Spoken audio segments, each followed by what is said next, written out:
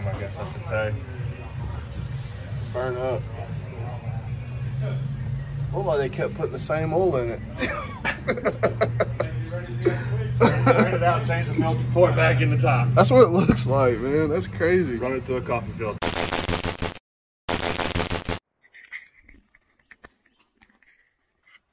All right, so we're back home. That was the longest drive of my life. uh, it was it was roughly about um, I would say round trip about twelve hours. So it was fairly long. Um, but we are home. Uh, did get it back. Uh, I haven't really had a chance to mess with it. I got off the trailer last night and I literally put it in the driveway. So it's gross, so I'm gonna wash it, and then we're gonna throw a tag on it and see if we can make it to the closest um, closest place with a vacuum. We're gonna vacuum it out. Then I'm gonna take you guys around it and show you guys the truck. It is pretty sweet though. Um, and honestly, uh, he said it needed cam phasers, but I crunk it up. Um, and it didn't sound like it needed cam phasers, honestly. It didn't sound bad at all. So, who knows? We're to clean it and see what happens. So, can see this thing's dirty as hell. Super dirty. A lot of like minor surface rust. I don't know what the heck happened here. But first thing we're going to do is obviously wash it because this thing is gross. Get it cleaned up. Got some damage here. Maybe polish these wheels, I don't really know. Clean this joker up. But yeah, we're gonna wash it real quick and see what happens. They're always asking me how Clean Freak works on like regular car stuff, like tires and wheels and stuff. So I'm gonna just show you guys kind of how that works.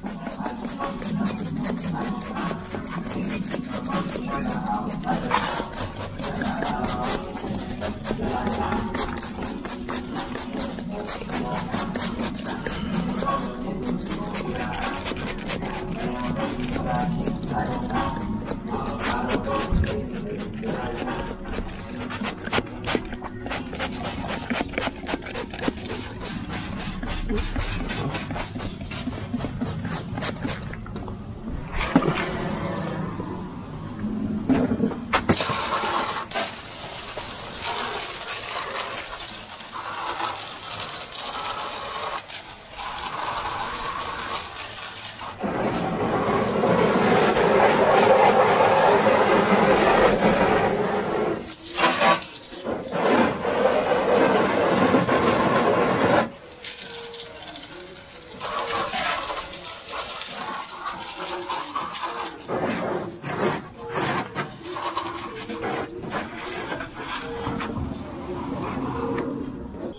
As you can see, it takes all the brake dust and grime off.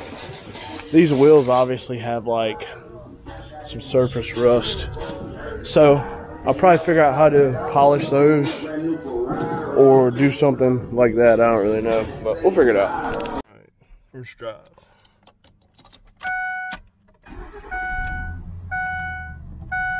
As you can see, it runs pretty good, you know? Right front door ajar, left front door ajar.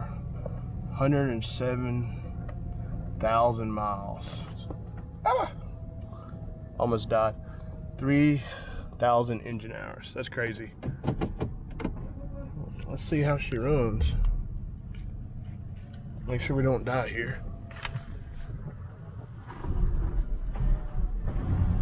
Whoa. Had a little stumble there. Second gear.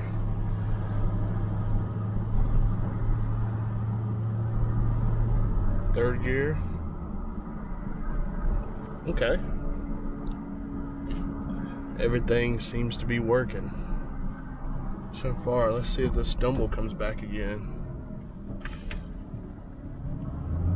Okay, goes a little way.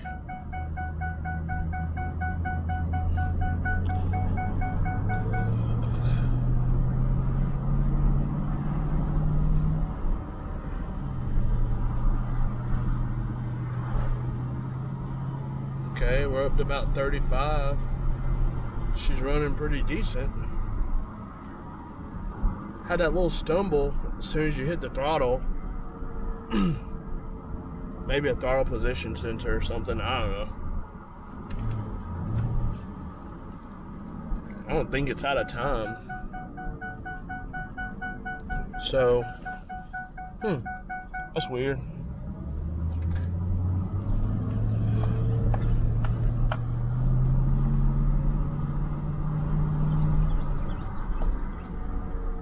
Hmm. Definitely had is a little laggy, but definitely isn't blown up either, so that's good. Alright, so runs pretty decent so far. I'm kind of surprised. Alright, so what we have here is a 20, or actually 2006 F350. Um, it is a gas truck. It's a 5.4. Um, I just cleaned it up. I'm about to paint like the exhaust and the frame rail and stuff like that. It's got one rust spot there on the door, which is good. Well, not good, but you know, the truck is fairly clean. Um, it's got a few spots, you know, that aren't the best, but you know, for what I gave for it, the truck is really nice. Um, it's got some damage here. That's really the biggest damage on the truck. Um, now, what my plans are for this thing. So, my plans for it kind of go like this. I kind of I plan to start my business, right? My trucking business, um, doing some hot shot freight. So my plan is to buy like a 32 foot trailer um, start there and tow light freight. Thing is sweet, but uh, yeah, so tow light freight, um, do stuff like that. I bought this truck in particular because it is a short bed. Um, it is extended cab. It does um, only has 107,000 miles. 107,000 miles. it isn't not really the roughest shape, but it's not in the best shape either. But you know, for what I gave for it, I really can't complain. Um, my plans are kind of just to fix it up, buy me a trailer, and then go from there. I'm going to do this the, the whole grassroots way. I paid cash for this truck. I'm not getting a loan to do any of this business. Um, I didn't do it with my last business, and I'm not going to do it with this one. So the goal is definitely to buy a trailer next fix this thing as I have time. I'm going to start getting loads off uShip, which I've already been kind of doing, and go from there.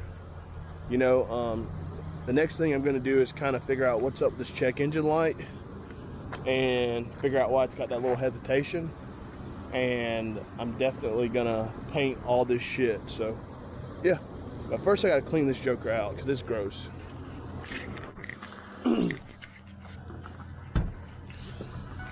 Thing is gross. It was on a farm. There's like pellets everywhere. I think those are, I think that's bird food. My dogs would have a field day with birds. Uh, but there's shit everywhere in here. So what I'm gonna do is clean this out. It's bird food everywhere. So I'm gonna clean it out and clean all this up, but the thing is pretty dang mint. I mean, of course it's got spots in places because there's a farm truck. It's got this little doodad here. I don't really care about that. We got iPhones nowadays, so throw that back there. but yeah, this thing is really mint. I mean, for what it is, it's pretty mint. Um, so I'm gonna finish cleaning it up and we're gonna send it. All right, so good and bad news. Good news is we have an update on the truck. But the bad news is it's not a good update. so um, I did put it in the shop. I took it down to um, Rock Hill Automotive and you will be able to see those pictures here. Now, what ended up happening is the right bank on the engine did jump timing. And why did it jump timing? So there is a um, there is a, a guide, right? And the guide has like a pump on it. The pump basically collapsed, so the the variable timing couldn't put the truck in time. So the timing chain on the right side had slack in it. Now what happened is basically the chain jumped a few teeth. Luckily, none of the valve train was messed up at all. So the truck would idle literally perfect, but anytime you would go anything over idle, it would drive like crap. So they're working on it now. Um, we should have it done in the next day or so.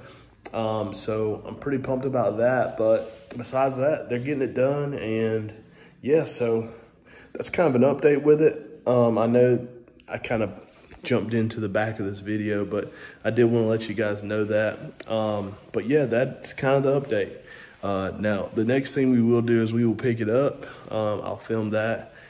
And then uh, we will try to get, we might even install the fifth wheel hitch in my driveway. So that might be the next thing we do. I don't know if you guys have any information on installing fifth wheels send me some links below, email me with some links, whatever.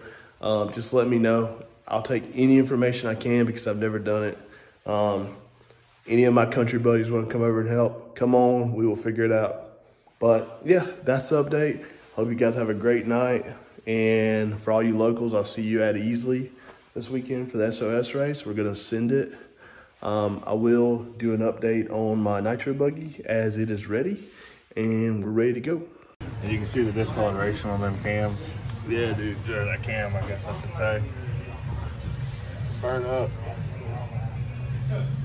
Looked like they kept putting the same oil in it. Turn it out, change the filter, pour it back in the top. That's what it looks like, man. That's crazy. Run it through a coffee filter.